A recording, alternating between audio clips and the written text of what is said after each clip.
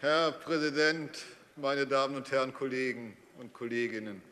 Ich glaube, die leuchtende Zeit, die Herr Rehbaum im Prinzip für die Zukunft erwartet, die haben wir schon lange.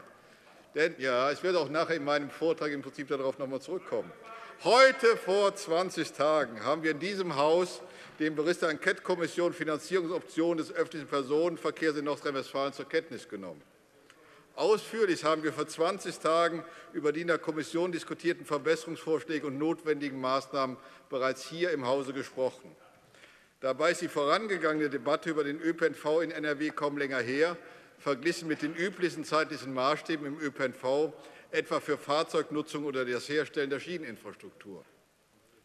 Denn Mitte Dezember 2016 hat der Landtag NRW das achte Gesetz zur Änderung des ÖPNV-Gesetzes NRW beraten und beschlossen. Zwei große Debatten zum öffentlichen Personenverkehr innerhalb gut eines Monats, das ist in anderen Bundesländern keineswegs der Fall. Für mich spiegelt es den Stellenwert wider, den der ÖPNV in Nordrhein-Westfalen für Rot-Grün hat. Bei genau dieser Diskussion des ÖPNV-Gesetzes Mitte Dezember sprachen wir und ich persönlich über die neu ins Gesetz aufzunehmenden Fördertatbestände. Wir sprachen auch von § 13 Abs. 1 Nr. 3, in dem es wörtlich heißt, ich zitiere, Drittens Investitionsmaßnahmen zum Erhalt und zur Erneuerung der Infrastrukturen von Stadt- und Straßenbahnen sowie dem SPNV dienenden Infrastrukturen öffentlicher, nicht bundeseigener Eisenbahnen. Was bedeutet das im Klartext? Dies wurde als Problem schon lange erkannt. Darauf müssen wir nicht hingewiesen werden, nicht von Piraten, nicht von der CDU. Es gibt die Notwendigkeit, Kommunen mit einer Stadtbahn beim Erhalt der Infrastruktur zu unterstützen.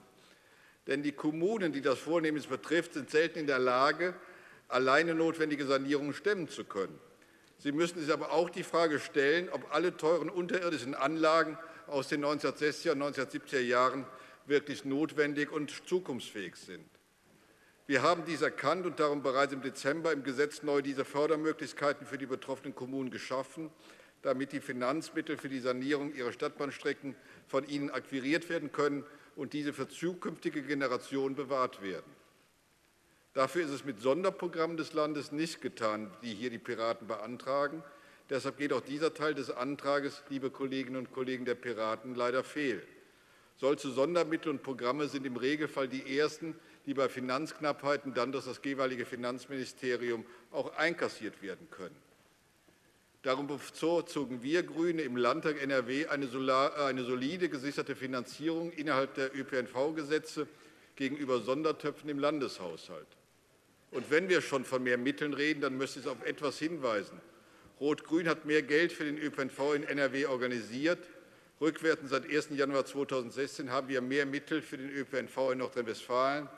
Der Anteil Nordrhein-Westfalens an den Regionalisierungsmitteln des Bundes wird bis 2030 schrittweise auf 19% steigen. Dieser Mittelzuwachs ist erheblich und muss sinnvoll investiert werden, statt wie ein Nimmersatt nach immer mehr zu schreien. Zusammengefasst, wir sind schon dabei und haben schon mehr. Deshalb lehnt die Fraktion Grün im Landtag NRW den Antrag der Piraten ab. Danke für Ihre Aufmerksamkeit und dafür, dass wir in drei Monaten zum dritten Mal über den ÖPNV in NRW diskutieren konnten. Er hat es verdient. Vielen Dank, Herr Kollege Beul.